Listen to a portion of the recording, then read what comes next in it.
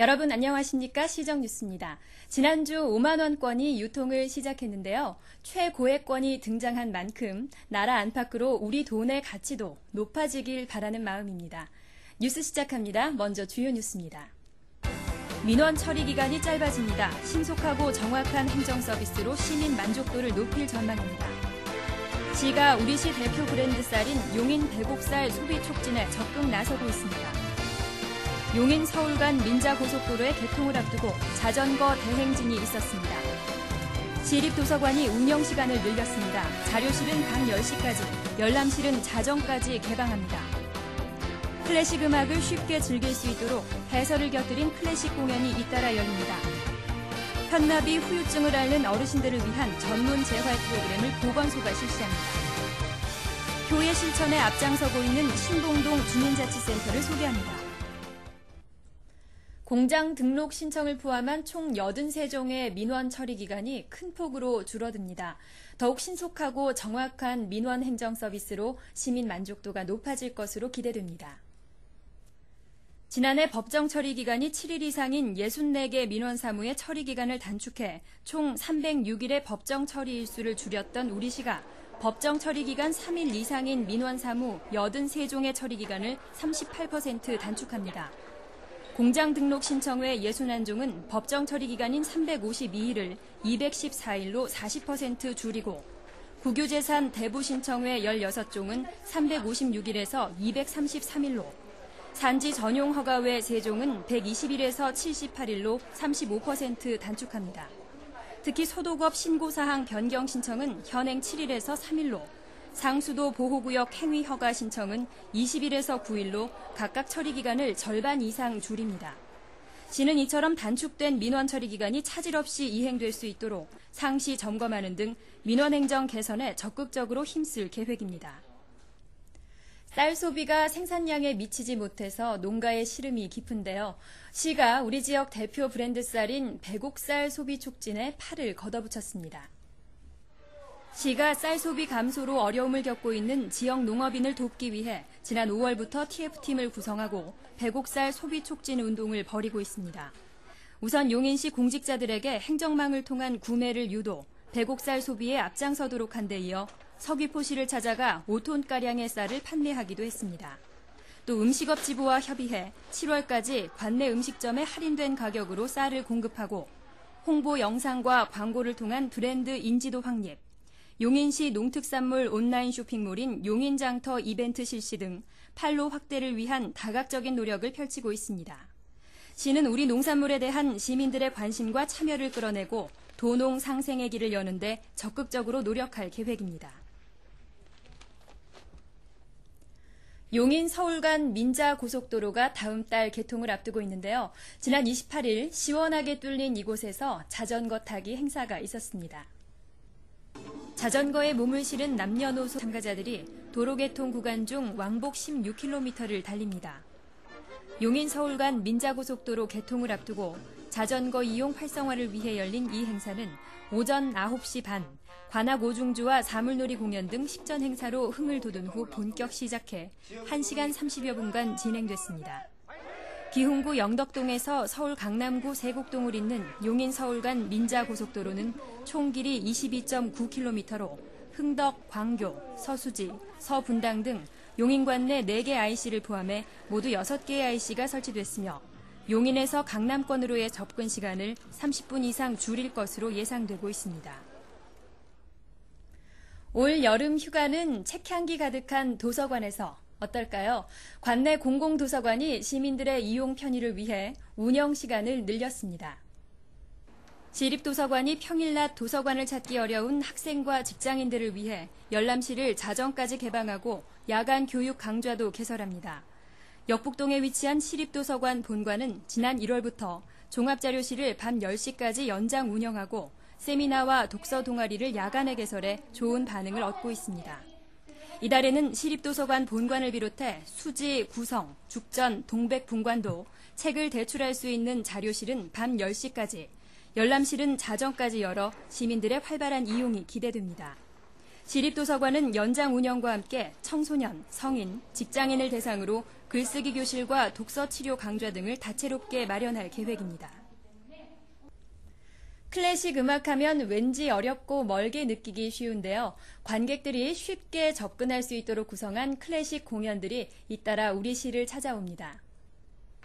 7월 1일 기흥구청 광장에서 열리는 금난새의 이야기가 있는 클래식 여행. 세계적인 지휘자 금난새가 유라시안 피라모닉 오케스트라와 함께 용인 시민을 만납니다. 비제 오페라 카르멘과 차이콥스키의 백조의 호수 등 대중에게 익숙한 선율들을 골라 해설과 함께 연주해 온 가족이 즐길 수 있는 재미있는 클래식을 선사합니다. 또 오는 10일 여성회관에서는 국립오페라단이 펼치는 모차르트의 오페라 마술피리가 관객들의 이해를 돕는 해설과 함께 콘서트 형식으로 공연됩니다. 무더운 여름밤, 가족과 함께 시원한 클래식 여행을 떠나보시기 바랍니다. 보건소가 뇌졸중과 알츠하이머 등으로 병원에서 퇴원한 어르신들께 재활운동과 한방시술로 새로운 희망을 찾아드리고 있습니다. 편마비로 인한 후유증을 앓는 사람들은 보행, 말하기, 자세 등 생활 속 작은 움직임에 큰 불편을 겪습니다. 보건소가 이러한 환자들 중 60세 이상 어르신을 대상으로 재활 프로그램을 알차게 운영하고 있습니다. 안전한 보행 능력과 사회성 개발 등 일상생활에서의 불편을 최대한 줄이기 위해 한방 운동, 사회성 강화의 세 영역에서 전문의와 운동 처방사, 전문 강사들이 개인별 상태에 맞춰 프로그램을 진행합니다. 특히 관절의 가동 범위를 향상시키는 재활 운동과 침 시술 등은 일상으로의 복귀에 큰 도움을 주고 있으며 모든 과정을 무료로 실시해 어르신들의 경제적 부담도 가볍습니다. 시작이 빠를수록 회복도 빠른 편마비 재활 치료. 보건소는 한방과 접목한 재활 프로그램을 지속적으로 실시하는 등 어르신들의 삶의 질 향상에 더욱 노력할 방침입니다. 지역 특성을 반영한 주민자치센터의 봉사활동이 확산되고 있습니다. 그중 오늘은 효의 실천을 활동의 중심으로 삼고 있는 신봉동 주민자치센터를 문진희 리포터가 소개해드립니다. 용인시 수지구의 신봉동 주민자치센터. 그 문을 열자마자 지역 주민들의 뜨거운 반응 속에 30여 가지가 넘는 다양한 문화교육 프로그램이 활발하게 진행 중인 곳입니다. 하지만 신봉동 주민자치센터의 진면목을 볼 수 있는 활동은 따로 있다고 하는데요. 다양한 문화교육 프로그램은 기본, 그 안을 걸어서 최근에는 효 사상을 담은 특성화 사업으로 더욱 주목받고 있는데요. 바로 지금 이 현장에서 그 따뜻한 손길들이 분주하게 이루어지고 있습니다. 지금부터 좀 더 자세하게 만나볼까요? 신봉동 주민자치센터는 지난 4월부터 시의 지원과 자치센터의 힘을 모아 효의 지팡이 나눔 사업을 진행하고 있는데요. 이번 사업의 가장 큰 특징은 모종이식에서부터 지팡이 제작까지 자치위원들과 자원봉사자들의 힘으로 직접 이루어진다는 점입니다. 노인들을 위해서 뭔가 해보기 위해서 예, 논의 끝에 지팡이를 제작하게 됐습니다. 그래서 물론 사드리는 것도 좋지만은 그리고 주민자치위원들이 노인들의 정성이 깃들여 있는 것이 좋다고 하기 때문에 이걸 지팡이 이렇게 신게 됐습니다. 오늘은 명화주 주변의 제초 작업과 페트병을 활용한 틀 작업이 무더운 날씨 속에 진행됐는데요. 이외에도 신봉동 주민자치센터는 장애인과 노인을 위한 자원봉사, 환경 정비 사업에도 앞장설 계획이라고 합니다.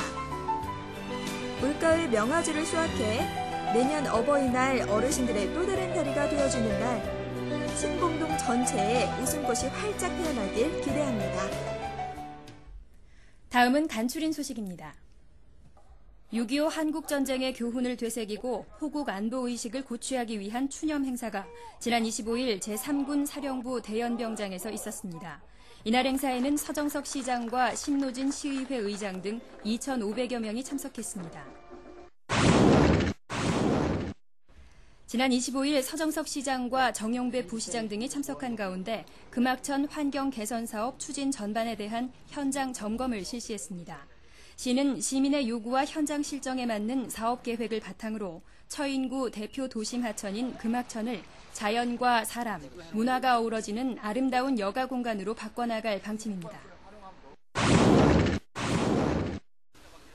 처인구 백안면 내수공 마을에 지난 22일 수원검찰 사랑봉사단이 방문해 141촌 농촌사랑 봉사활동을 펼쳤습니다. 수원지검장을 비롯한 25명의 봉사단은 이날 감자 수확과 포장을 돕고 기금으로 마련한 에어컨을 전달했습니다. 다음은 공지사항입니다. 시가 취약 지역을 방문해 위기가정 무한 돌봄 사업과 한시 생계 사업의 대상자를 현장에서 접수합니다. 자세한 문의는 읍면동 주민센터와 구청 주민생활지원과 시청 복지위생과로 하시기 바랍니다.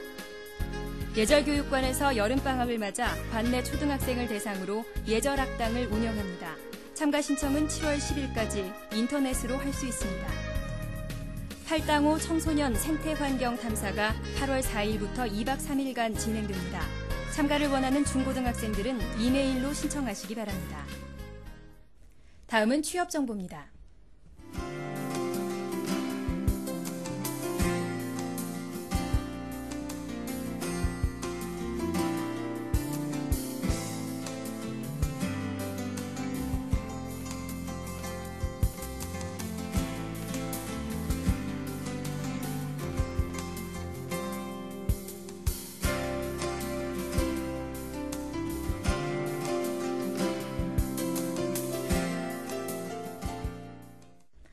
올해부터 기상청이 장마 예보를 하지 않고 있는데요.